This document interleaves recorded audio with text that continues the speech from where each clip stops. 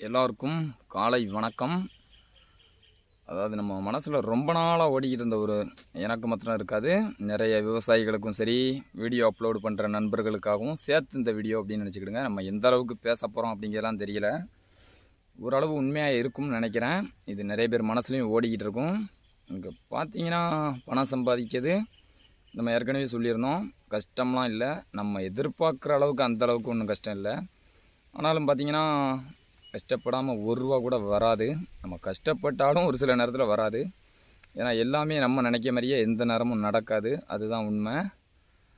இதில் பார்த்தீங்கன்னா நம்ம விவசாயம் பண்ணுறவங்களும் சரி விவசாய வீடியோ பண்ணுறவங்களும் சரி அதாவது ஏதோ நம்ம நிறைய இங்கே வர்ற கஷ்டத்தையும் சொல்கிறோம் நஷ்டத்தையும் சொல்கிறோம் மேக்ஸிமம் நம்ம நஷ்டத்தையும் நம்ம வயல பன்றிகள்லாம் அழிச்சதை தான் அதிகமாக வீடியோ அப்லோடு பண்ணோம்.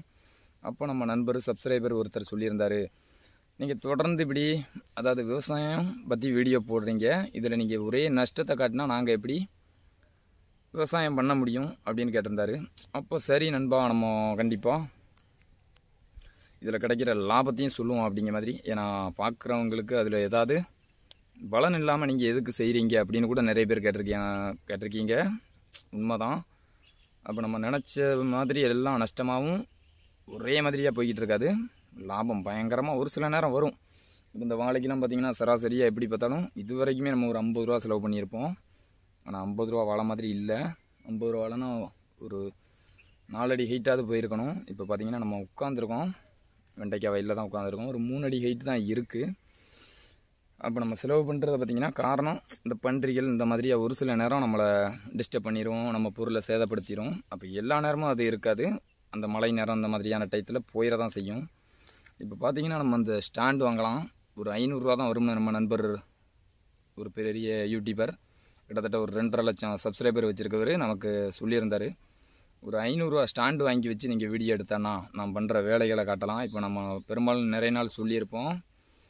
நம்ம வேலை பார்க்குறத வீடியோவில் காட்ட முடியல யாரையும் போய் டிஸ்டர்ப் பண்ண முடியல. அதாவது நம்ம சௌரியத்துக்கு யாரையும் கூப்பிட முடியாது அப்படிங்கிற மாதிரியாக சொல்லியிருக்கோம். உண்மைதான். இந்த ஐநூறுரூவா ஸ்டாண்டு வாங்க கூட நமக்கு நேரம் இல்லாமல் ஓடிக்கிட்டே சுற்றிக்கிட்டு இருக்கோம். ஒரே விவசாய வேலை. ஏன்னா இதுக்குள்ளே நம்ம தலையை விட்டுட்டோம். விட்டுட்டு அதாவது எப்படின்னா ஒரு அரை கடலுக்கு நீஞ்சி வந்த மாதிரியாக நீஞ்சி வந்திருக்கோம். இந்த கொஞ்ச தூரம் தான் அப்படிங்கிற மாதிரியே இருக்குது ஓரளவு முடிச்சிட்டோம். இன்னும் உரம் வைக்கிறது இந்த மாதிரியே பெரிய அமௌண்ட்டு அதெல்லாம் எப்படின்னு பார்த்தீங்கன்னா இந்த வாழைக்கு இப்போ ஒரு பதினஞ்சாயிரம் ரூபாய்க்கு உரம் வைக்கணும். இதை மாதிரி இன்னொரு வயலில் வாழை போட்டிருக்கோம். இதுக்கெல்லாம் பார்த்தீங்கன்னா கண் மொழியை பிசுங்கிட்டு வருது. என்ன செய்ய போகிறோம் ஏது செய்ய போகிறோம் அப்படின்னு. அப்போ பணத்தோட கஷ்டம் நம்ம இதுக்குள்ளே காலை வச்சதுக்கப்புறம் தெரியுது. ஆனால் கடைசியாக பார்த்தீங்கன்னா இதெல்லாம் நம்ம கை சேருமா அப்படிங்கிறது ஒரு இப்போ ஒரு நம்ம ஒரு உதாரணத்துக்கு ஒரு பாத்திர கடை அப்புறம் இந்த மாதிரியே பார்த்தீங்கன்னா அழியாத பொருள் அப்படின்னு வச்சுருந்தோம் அப்படின்னா கண்டிப்பாக அது அழியாது. நம்ம முதலீடு அங்கே இருந்துக்கிட்டே இருக்கும். ஆனால் இதெல்லாம் பார்த்திங்கன்னா ஒரு காற்று அடித்தாலும் சரி மழை பெஞ்சாலும் சாயலாம். அதுக்கு பார்த்திங்கன்னா நம்ம போன வருஷமே ஒரு முப்பதாயிரம் ரூபாய்க்கு கம்பு வாங்கி வச்சுருக்கோம். போன வருஷம் நம்ம அந்த கம்பு இதெல்லாம் சேர்த்தோம் அப்படின்னா நமக்கு ஒரு ரூபா கூட மிச்சம் கிடையாது. முதலீடாக இருக்குது அவ்வளோதானே தவிர நமக்கு லாபம்னு பெரும்பாலும் எடுக்கலை. அது எப்படின்னா அப்படியே இருக்கும்னு சொல்ல முடியாது. இந்த வருஷம் நம்ம முதலீடாக கம்பை முடக்கிட்டோம். பால் இந்த வருஷம் கிடைக்கிதெல்லாம் நமக்கு லாபம் அப்படின்னு நினச்சிக்கிடலாம். ஏன்னா போன வருஷமே நம்ம மாட்டு சாணம் கொடுத்துருக்கோம் வாழைக்கு இப்படியே பார்த்தீங்கன்னா நம்ம வெண்டைக்காவெல்லாம் பறித்து அப்படியே பார்த்தீங்கன்னா நைட்டும் பகலும் தூங்காமல் ஒரே ஜலதோஷம் தொண்டைப்போச்சு அந்த மாதிரி பல பிரச்சனையில் போய்கிட்டுருக்கு நமக்கு ஊசி போடக்கூட நேரம் இல்லை. இப்படியா உள்ள சூழ்நிலையில் நம்மக்கிட்ட பார்த்தீங்கன்னா இந்த வீடியோ எடுக்கிறதும் சரி இந்த வெண்டைக்காய் போட்டு இந்த வெண்டைக்காய் விலையெல்லாம் பார்த்தீங்கன்னா முந்தா நாள் நம்ம ஒரு ஐம்பத்தி எட்டு கிலோ கொண்டு போயிருந்தோம். ஐம்பத்தி எட்டு கிலோ நீங்கள் ஒரு ஏழு ரூபா வச்சு கணக்கு பாருங்கள் என்ன ஆச்சுன்னு பாருங்கள் எட்டேழு ஐம்பத்தாறு. ஒரு ஐநூறுரூவாய்க்கு உள்ளே அந்த மாதிரியா? இல்லை ஒரு அறநூறுவாய்க்கு உள்ளே இந்த மாதிரியா தான் கிடைக்கி. இப்போ நமக்கு அதை கணக்கு பார்த்து சொல்லக்கூட நேரம் இல்லை. ஏன்னா அடுத்து நம்ம பூ பறிக்க போகணும். அப்போ அந்த பூ பறிக்க போகிறோம் அதில் பார்த்திங்கன்னா ஒரு இருபத்தி ரெண்டு கிலோ பூ பறிச்சிருக்கோம். ஒரு கிலோ பத்து ரூபா தான். இந்த வெண்டைக்காவை பார்த்திங்கன்னா ஒரு கிலோ ஏழு ரூபா ஆறுரூவா அந்த மாதிரியாக தான் போகுது. பத்து ரூபாய்க்கு இன்னும் தொடவே இல்லை. பன்னெண்டு ரூபா வரும் அப்படின்னு சொன்னாங்க. நம்ம போட்ட அன்னைக்கு அதான் நம்ம போடாத அன்னைக்கு பன்னெண்டு ரூபா விற்றுது நம்ம போட்டு விடுத அன்னைக்கு எட்டு ரூபாய்க்கு வந்துட்டு. அப்புறம் மறுநாள் பார்த்திங்கன்னா ஏழ்ரூவா இப்படியாக இப்படியா போய்கிட்டு இருக்கு இதில் நம்ம நான் சொன்ன மாதிரி தான் இதுக்கு இந்த வெண்டைக்காய் செடிகள் விதை மாத்திரம் நம்ம ஒரு ஆயிரத்தி அறநூறுரூவாய்க்கு வாங்கினோம். அந்த முதலீடு இன்னும் எடுக்கலை. இந்த கஷ்டம்லாம் எப்படின்னா நமக்கு தெரியும். அப்போ இது எப்படின்னா வெளியே இருக்கவங்களுக்கு தெரியாது. நம்ம வீடியோ போடுறதுனாலையும். இப்படியா பார்த்தீங்கன்னா ஒரு சிலதை காட்டுதான் வெண்டைக்காய் பறிக்கும் இதெல்லாம் பார்த்தோன்னே நிறைய பேர் நினச்சிக்கிட்டாங்க நம்ம கைவசம் நிறைய பணம் வச்சுருக்கோம் போல இருக்குது அதை செலவு பண்ண முடியாமல் கொண்டு வந்து வயலில் போட்டுக்கிட்டு இருக்காரு அப்படின்னு. அதெல்லாம் கிடையாது. இங்கே பல நாள் தூக்கம் கிடையாது. நம்ம கண்ணை பார்த்தீங்கனாலே தெரியும். அப்படியே இப்போ கூட பூ பறிக்கணும் வெண்டைக்காய் பறிக்கணும்னு சொல்லிட்டு நம்ம மூணு மணிக்கெலாம் பெரும்பாலும் எழுந்திரிச்சிருவோம் ஏன்னா அதுக்கு மேலே தூக்கம் வரமாட்டுக்கு. ஏன்னா வயலுக்கு பன்றி வருதா?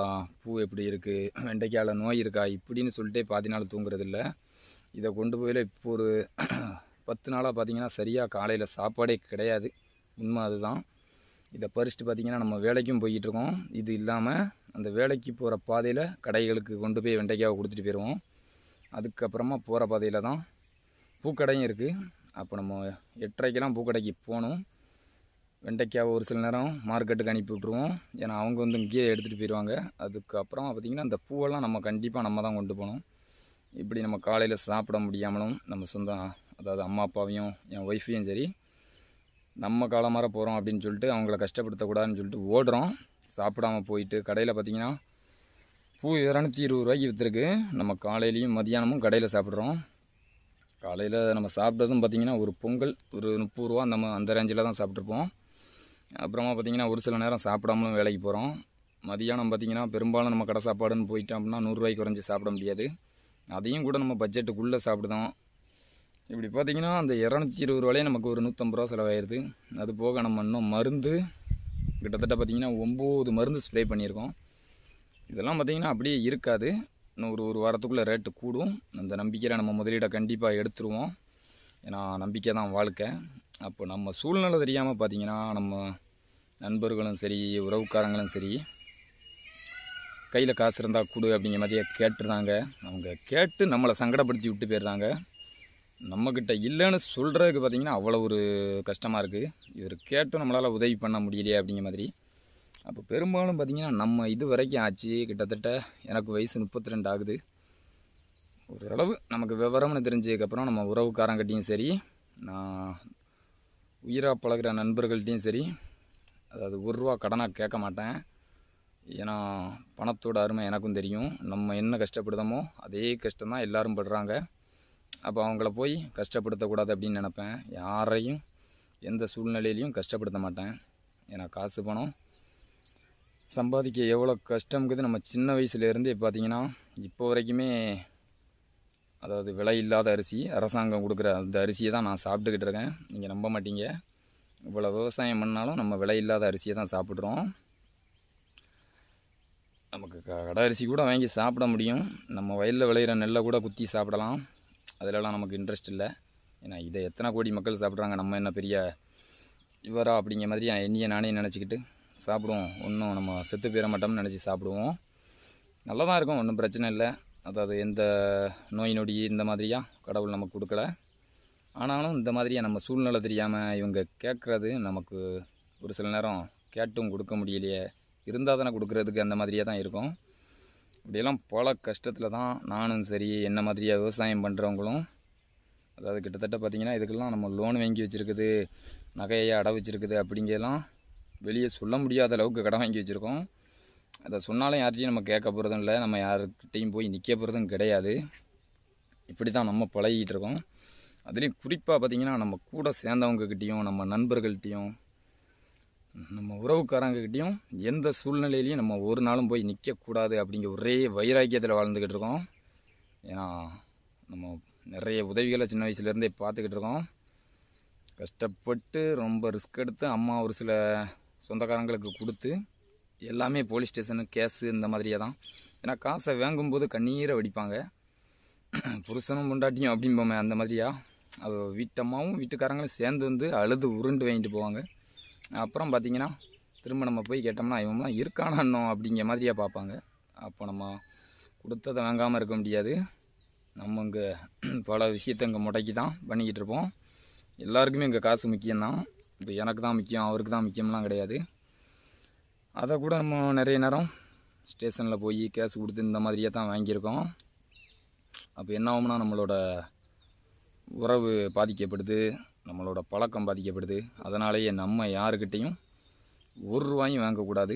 நம்ம சொந்தக்காரங்கிட்டையும் சரி நம்ம உயிருக்கு உயிராக பழகுத நண்பர்கள்ட்டையும் சரி. அப்படிங்கிற வைராக்கியம் தான் இது. இப்போ இல்லை நம்ம செத்தா கூட அந்த மாதிரியாக இருக்கணும் அப்படிங்கிற மாதிரியாக தான் போயிட்டுருக்கு. யார்கிட்டையும் எனக்கு விவரம் தெரிஞ்சு நம்ம கடை பக்கத்துலேயே இருக்குது அங்கே கூட நம்ம ஒரு ஒரு ரூபாய்க்கு கூட இது வரைக்கும் கடை வாங்கினது கிடையாது. நம்ம சித்தப்பா கடை தான் என் வீட்டுக்கு ஆப்போசிட்டில் தான் இருக்குது ஒரு ஆறு வருஷமாக இருக்கும் அந்த கடை பக்கத்துலேயே இது வரைக்கும் ஒரு ரூபா கடன் வச்சதே கிடையாது. அந்த மாதிரியே தான் போயிட்டுருக்கு. ஏன்னா எல்லாருக்குமே ஒவ்வொரு ரூபா தான் அவங்க லாபத்தில் இருப்பாங்க. அதை போய் நம்ம கெடுத்துடக்கூடாதுன்னு நினைப்போம். இப்படி பார்த்தீங்கன்னா யார்கிட்டையும் எந்த சூழ்நிலையிலையும் குறிப்பாக உறவுக்காரங்கக்கிட்டேயும் நம்ம நண்பர்கள்ட்டையோ எந்த சூழ்நிலையிலையும் பணம் கதை கேட்டு அவங்களையும் கஷ்டப்படுத்தாங்க அவர் தரலன்னு சொல்லிட்டு நீங்களும் கஷ்டப்படாங்க ஏன்னா அவங்க நம்ம சொல்லியிருந்தோம். அவங்க சொல்ல முடியாது. என்னைய மாதிரி பல பேர் இருக்காங்க. கொடுக்க முடியலன்னு வருத்தம் தான். நிறைய பேருக்கு உதவி பண்ணணும்னு தான் ஆசை. பையில் இருந்தால் தான் அதாவது சட்டியில் இருந்தால் தான் ஆப்பிள் வருங்க மாதிரியா? வெறும் பையை வச்சுட்டு ஒன்றும் செய்ய முடியாது. இப்போ கூட பார்த்தீங்கன்னா இது மாத்திரம் அந்த ஒரு சாக்லேட் இருக்குது அதுவும் நம்ம வயலில் தண்ணி தாகம் எடுத்தால் போட்டுக்கிடணும் அப்படிங்கிற மாதிரியா சொல்லி தான் அந்த சாக்லேட்டே வாங்கி பையில் போட்டிருக்கோம். அது ஒரு ஒரு ரூபா தான். இப்படி பல கஷ்டத்தில் தான் எல்லார் வாழ்க்கையும் போது ஏதோ என் நம்ம மனசில் ஓடிக்கிட்டு இருந்ததை சொல்லணும்னு தோணுச்சு.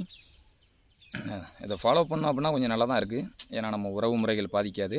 நட்பு வட்டாரங்கள் நல்லா இருக்குது அப்போ நம்ம போய் கேட்கும்போது நம்மளை மதிக்க மாட்டுக்காங்க. நிறைய நானும் அனுபவப்பட்டேன். இவன்கிட்ட பேசினா இவன் பணம் தான் கேட்பான் போல இருக்குன்னு நம்ம ஃபோனெல்லாம் நிறைய நண்பர்கள் கட் பண்ணி விட்ருக்காங்க இதெல்லாம் நம்ம புரிஞ்சுக்கிட்ட நாள்லேருந்து நம்ம உறவுக்காரங்கிட்டையும் நண்பர்கிட்டையும் ஒரு ரூபா வாங்கக்கூடாது அப்படிங்கிற ஒரு வைராக்கியத்தில் போயிட்டு இருக்கோம். இப்படியே இருக்காது. நிலமை மாறும். மாறுதன்னைக்கு நம்ம உதவின்னு பண்ணுனா கூட ஒரு ரூபா யாருக்கும் பணமாக கொடுக்க போகிறது கிடையாது. முடிஞ்சால் நம்ம விவசாயம் பண்ணுறதுனால ஒரு மரக்கன்றை கொடுப்போம். விவசாயம் பண்ணுற கஷ்டப்பட்டவங்களுக்கு செய்ததாக இருந்தால் கூட அந்த மரக்கன்றை அவர் வளர்த்து அதிலிருந்து கிடைக்கிற லாபத்தை எடுத்துக்கிட்டுங்க மாதிரியாக தான் நம்ம மைண்டில் ஓடிக்கிட்டு இருக்குது கூடிய சீக்கிரம் நடக்கும். நமக்கும் இந்த வீடியோ மூலமாக கண்டிப்பாக பணம் வர அன்னைக்கு அதை தான் பண்ணுவோம். நீங்கள் பார்க்கலாம். அதை நம்ம வீடியோவை அப்லோட் பண்ணுவோம். தொடர்ந்து சந்திப்போம். எந்த சூழ்நிலையிலையும் யார்கிட்டையும் ஒரு ரூபா கூட வாங்கணும் அப்படின்னா நம்மளை மதிக்க மாட்டாங்க. இதுதான் உண்மை. இதனால் நம்ம பல உறவுகளையும் இழந்திருக்கோம். நண்பர்களையும் இழந்திருக்கோம். நன்றி. சொல்ல தோணிச்சு சொல்லிட்டோம்.